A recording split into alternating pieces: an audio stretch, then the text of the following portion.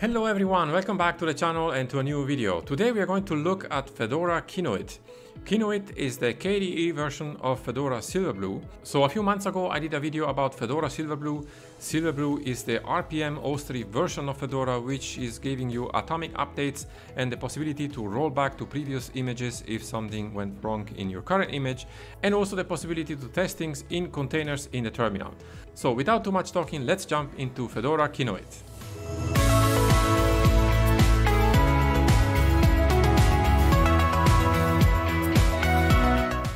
So a few months ago I did a video about Fedora Silverblue. If you remember, if not, I will put a link in the video description so that you can watch that as well. Silverblue is basically a version of Fedora based on the rpm-ostree project. Now, as I said in that video, the rpm-ostree project is a hybrid image package system. It basically combines libostree as a base image format and then accepts RPM on both the client and server side sharing also code with the DNF project. Now we're going to look a little bit more in depth afterwards about the OSTree project, but just to summarize it, it basically is an operating system in an image. So it is immutable, that means it's less prone to crash. Its purpose also is to be more stable. Now Silverblue is actually the Fedora version with the rpm-ostree project which is using the GNOME desktop environment, and Kinoite is the version which is using KDE. So this is the website for Fedora Kinoite, and I will leave a link to it, of course, in the video description below. You have here a presentation of the project. Here it tells you basically it's built on top of Fedora. It's using, in this case, the Plasma desktop, the KDE desktop. This is actually something many people asked for with Fedora Silverblue having a KDE version. And as in Silverblue as well, the applications, most of the applications are actually Flatpaks. So they are basically running independent from your operating system, reducing the risk of crashing it. But if there is an application which is not available on Flatpak, you can actually layer in into the system image that application as a RPM package. That is actually one of the advantages here with the rpm-ostree is the possibility to layer in the image other packages if you don't have Flatpaks available. So that means basically once it's layered in the image, it basically becomes part of the image of the OS. So going down here, you can see also the rpm-ostree project. This is also something that I will show you a little bit later. I leave also a link to it in the video description below. And one of the big advantages, of course, of Silverblue and also Kinoite is that you have Podman available as a container engine. So I will show you this afterwards on the desktop. But what it basically does here, you have the possibility in Kinoite and Silverblue to create in your terminal containers if you're, for example, working on several different projects and you want to have them compartmentalized in different containers, you can use Podman to do that and it will not touch your base OS. Now we have also here some information about Silverblue and also Fedora Core OS. Now on the top here we have also the download button where you can download your version of Fedora Kinoite. Now make sure you understand here this is actually a pre-release version, it's a beta version. I think Fedora Kinoite it's gonna follow the release of Fedora 35 which should be in about two weeks. So just be aware that this is actually a beta version so it might have still some bugs. So right now you have a version for x86-64 and ARM processors. We will have also later, it seems to be a PPC64 version to download.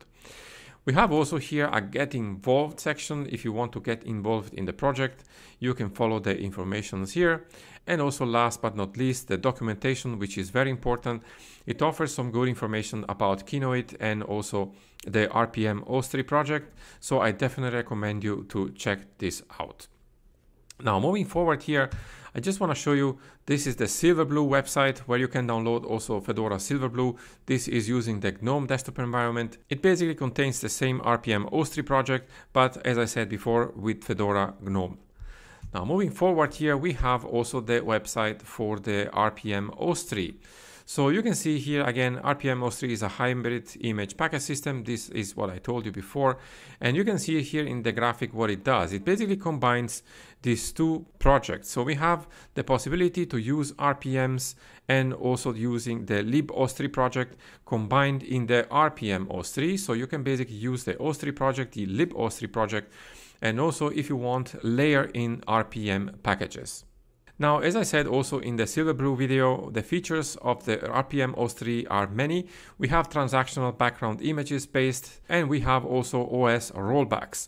So basically every time you're going to layer in a new thing in the image, I'm not talking about flatpaks here, I'm talking about RPMs, you're basically creating a snapshot of the previous image and if you have a problem with the new image, you can always roll back to the previous one. So you have also here a Y section, which I definitely recommend you to read through. And we have also some other things here, why you want to use it. And of course, as it says also here, one major feature rpm-ostree has over traditional package management is atomic upgrade rollback. So as I said again, especially if you are developing stuff, if you are a developer and you want to test many things, this is a good thing to have because if something goes wrong with your current system, you can always roll back to your previous one. But as a normal user, this might be also great because you don't want to mess up your system and you can install packages with Flatpaks. That means you're not going to touch basically your base OS. And if you do layer in some RPM packages into your image, you can always roll back to the previous system if your current image has some issues. Now, the last thing I would like to show you again here is the Wikipedia because kinoite is actually the name of a mineral. As you can see here, kinoite is a light blue silicate mineral. You can see it here in this photo. It's a beautiful mineral. Again, silver blue was again another mineral. This is the naming of choice for these distributions. They are following mineral's name. And you can see this is actually the kinoite mineral. I will leave also a link to this article in the video description if you're curious about this mineral as well. Anyway, let's jump into Fedora Kinoite here. And you can see it's already installed. The installation is actually nothing special. It's the basic Anaconda installer that you will find also in the normal installation of Fedora. So that's why I'm not going to show it in the video here. But the system is now locked, so we can unlock it here by entering our password as we would do in KDE. And here we have the KDE desktop environment. So let's just explore this very quickly. The installation of Fedora Kinoite here, the KDE desktop environment offers very basic packages. You can see here under administration, we have just the firewall, which is installed by default. For development, we have here just one application, the dbus debugger. As an internet browser, we have only Firefox here. We have also our settings, of course, the system settings. And we have here also some system utilities, like for example, the file manager Dolphin, the console and also some other utilities here. So that's actually pretty much there is to it here for the installation. We have a very basic installation here. So let's go ahead and open up now our settings and let's have a look also at the version of KDE. So let's scroll down here and go to system information. You can see here we are using KDE Plasma version 5.22.4. The KDE framework is 5.85.0 and the Qt version is 5.15.2. Now interesting here is that actually it's using Wayland by default. Now I've tested this right now only on a virtual machine, but I will test this also on a laptop and I want to test this on a laptop because I want to see actually how Wayland now on KDE performs on multiple monitors. I had in the past also a 4K monitor with a 1080p display on the laptop and Wayland was not yet working really well on KDE that time, but now maybe it's improving, so I have to test this out. In GNOME, it's working really well out of the box. In KDE, when I tried it last time, was not yet working well out of the box, so I'm gonna test this out surely later again to check if something changed. Now let's close this window and open up our console here. And here we have the typical console for KDE. Let me actually go full screen here and increase the font size so that you can see better.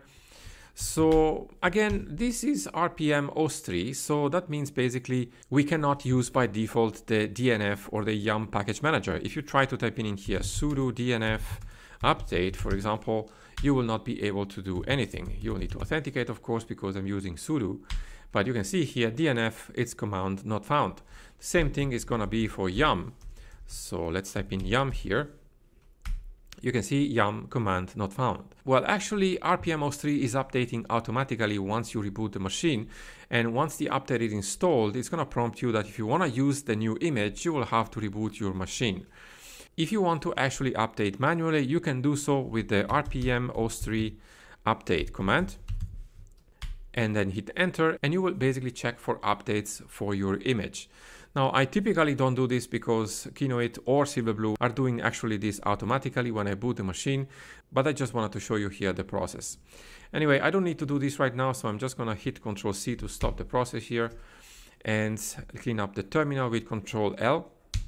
And of course, one of the big advantages here is also you can install RPM packages if you don't have basically a Flatpak available. So for example, in this installation of Kinoite, I don't have many things installed. I don't have many packages installed, but I can install this as a Flatpak. Now, the thing is that before you can use Flatpaks, we need to define the repository. Now, I'm not sure this is going to be again the same when the final version will be released. Probably by then the repository will be already included, but right now it is not. So let's open up here Firefox. So you can see also how it's done if you want to do this. And let's go, let's type in basically Flatpak and then Fedora. And let's here just click the first link, which is the one we need.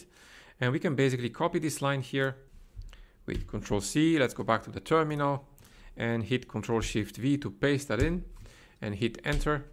It's going to take a moment here. We need to authenticate. And there you go. So now if we want to install Kdenlive, for example, we can type in Flatpak install Kdenlive and hit enter. And you can see it found it in the remote in the FlatHub system. So we can just hit Y here and accept the defaults and then accept the defaults one more time to accept the installation. And now it's going to download my Flatpak. It's going to take maybe like 20 seconds to do this or 30 seconds, depending of course also on your internet connection. So it seems to be that it's almost done and I think the installation is now complete. So we should have now Kdenlive installed. If not, we just need to log out once from the machine. But I saw that it was updating the applications. And you can see Kdenlive is there. The icon is not showing because I probably need to log out once, but that's fine right now. So I can exit from here. So for example, let's say we want to install another editor. Now I know Vim is also available as a Flatpak, but as an example here, I'm just going to show you how you can basically layer it in into your image. To do this, you can type in rpm-ostree and then install and then vim, very simply. So once you hit enter here, you're basically going to layer in this RPM into your base OS image. And that means basically once it's installed, you need to reboot your machine in order for Vim to be available in your base OS. Now, this is one way to do it, of course. Again, I would recommend you to install Flatpaks in Fedora Silverblue and Kinoite just to avoid layering in unnecessary packages unless you really have to. Now this is going to take also a little longer because the installation as you see needs to also be writing the OSTree commit. It's basically working with a git process now it's staging the deployment and very soon the package will be layered in. And you can see there at the end, it says changes queued for the next boot. You can just type in systemctl reboot here to start a reboot and you will be having the choice basically to see the two snapshots, the new one with Vim and the old one without it. So this is one of the big advantages with rpm-ostree, the possibility to roll back to a previous snapshot. Now, the next interesting thing here in Fedora Kinoite, like in Fedora Silverblue, is the possibility to use the toolbox. Now, the toolbox is not installed by default. So when you type in toolbox, for example, create, we want to create a toolbox here for working with DNF, let's say. This is just an example. You can see here image required to create toolbox container. So we need to download this first. So let's type in Y here. And it's going to take a moment here, of course, depending also on the speed of your internet connection and now it's creating already the container because the image was downloaded. So now to enter the container, we need to type in as it says there, toolbox, enter, and then DNF, and hit enter. So you can see you are in a container now because you have this small icon on the left side of the terminal. Now we are here in a DNF container. Now because we are in a DNF container, it doesn't mean that we can only use DNF. But basically we can use the system as we would use it in Fedora 35, the standard installation. So let me clean up the terminal here with Control L again. And let's try to install a package. So let's type in sudo dnf install. So let's try to install in this container vim, for example, because it's not installed by default. So let's hit enter and install it. This is going to take a moment. It's not a big package. And so let's clean up the terminal and look for a file here. So let's type in vim and let's open up here, for example, our bashrc file. Why not? So dot bashrc and hit enter. And you can see we have here our Vim editor and we can work with it. Now, what happens here, let's get out of the Vim editor here and let's get out of the container by hitting Control D, for example. And let's try this again. Let's type in, in here vim.bash rc because we have also here the bash rc file but you can see vim command not found. Now we layered in vim here into the base image before, but we haven't rebooted the machine yet. So that's why we don't have it yet available also in our base OS. But this is just to show you how the container is basically working. You're basically working in a container, in one container, everything what you do in there is basically isolated from the rest of the system. So you can test whatever you like, you can try out things, but you are not basically messing up or you are not actually damaging your base OS. So this is one of the big advantages here in Fedora Kinoite, as is the same also for Fedora Silverblue. Now, this is a very small example, but you can imagine what you can do here. You can basically test the things in your containers. Also, by the way, we can list the containers here. We have also the toolbox list command, which is going to show you the containers that we have right now. You can see it's running and the container name is DNF. We can also remove this container by typing in toolbox rm-f and DNF for the name of the container and it's basically going to remove the container. If we type in again toolbox list, you can see we have still the toolbox image that we use to create toolboxes. We can also remove this if you want by typing in toolbox RMI for removing image and then the image name and then hit enter. It's gonna take a moment to remove that. And now if we type in toolbox list, you will see basically we have a nothing. So we can create again a toolbox, toolbox create, let's call it, for example, dev and hit enter. You can see again, we need to download first the image for the toolbox because otherwise we cannot create it. So if you want to create more toolbox, definitely don't delete the toolbox image. Otherwise you will need to download it every time. So I'm just gonna type in n here. I don't need to do this right now. I just wanted to show you how it's done.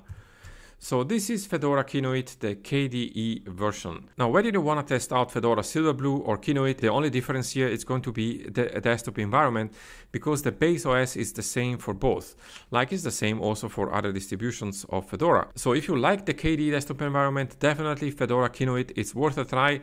As I said before, now it's in beta, so you might still find some bugs in here.